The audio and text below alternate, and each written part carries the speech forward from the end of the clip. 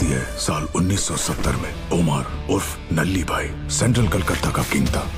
East Calcutta का king था मानिक सन्याल उर्फ़ थूटो जोगा और डॉक्स का किंग मुगल अब्बास उर्फ़ मिर्ची भाई। पर उनमें से किसी ने भी इतिहास नहीं रचा ना ही इतिहास को बदला है। सिवाय एक शख्स के Jaydev Singh उर्फ़ question how did Jaydev become Genghis? उसके बाबा पुलिस थे, मामा पुलिस है, ये भी पुलिस बनेगा।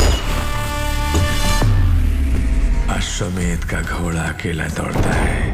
तो मेरा वही अश्वमेध का घोड़ा है।